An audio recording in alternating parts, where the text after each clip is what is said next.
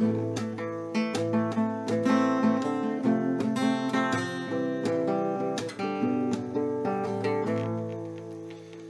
greetings once again. Welcome to our daily Timothy time. Today is Thursday, the 17th of September 2020. And uh, my name is Carl Coates from Pure Bible Study here in Trondheim, Norway. We're going to continue with the Bible timeline, part 9 today. We're going to look at Genesis chapter 1, verse 2. Now, let me tell you this. Uh, out there in Christendom, there's a uh, something called the gap theory, which just simply states that something happened between Genesis 1 verse 1 and Genesis 1 verse 2. Now there are arguments on both sides of that. Some people say yes, something did happen, and others try to say no, nothing did happen.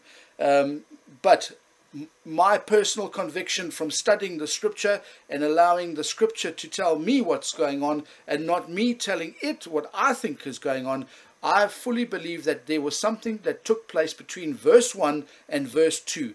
And uh, today we're going to look at chapter 1, verse 2, and it reads, And the earth, earth was without form and void, and uh, darkness was upon the face of the deep, and the Spirit of God moved upon the face of the waters.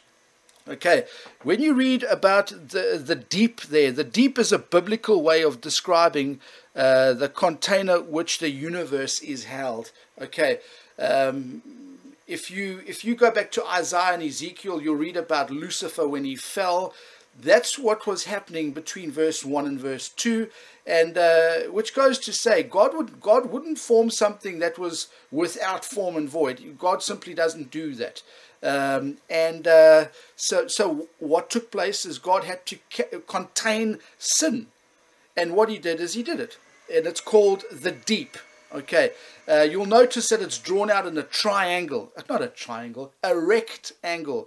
And uh, if you, it, the rectangle, if you go through the scripture, the rectangle is a, there's, there's types that go through the Bible. If you look at the ark that Noah built, that was rectangular shape, not a boat shape like everybody makes out. It was rectangular shape. If you look at um, the tabernacle, it was rectangular shape. So God, uh, the, the, way the heavens are set out is um, it uh, it's a type. You know that there's a, there's in fact, if you want to look at a, a, passage of scripture that'll help your understanding there, go over to Hebrews chapter 8 uh, and you'll read there and, you, and, you, and you'll get what I'm trying to say about the shape of the of the container, the deep that holds the universe. And in that uh, deep is the earth. Okay. Uh, now we could elaborate and we can unpack uh, um, this verse and uh, uh, the following verses in a lot of detail. But as you know, time is against us each day, and my, my purpose and intent today is just to give you an example and, and an illustration of the deep. Understanding this will help us as we go down through the oncoming verses. And um, uh, as we work through the verses, the, the uh, it'll it'll start to make so much sense to you. And if this is new to you, look, it might be a shocker. You might be going, whoa, whoa, whoa, whoa, whoa. But if you just let Scripture tell you what's going on, it's a beautiful thing to learn about the creation. And um, obviously, as I've said, time is always against us. So there there are a, there are a lot of scriptures that we can go and proof text out verse two, but time just doesn't allow. Um, if you are looking for a more in-depth study, just leave a comment down below and we can do one for you so that you get the full teaching of it. Um, that would be, I, I, highly recommend that for you. Anyway, so the deep, uh, you got darkness was upon the face of the deep. Now, darkness, that's a title, and we'll, we'll come to more of that as we go down. Um, and darkness was a result of Satan's fall. Okay, um, we also learn and see that um, that the Spirit of God moved upon the face of the waters, and uh, that's quite interesting as we start to look down through the, the, the oncoming verses.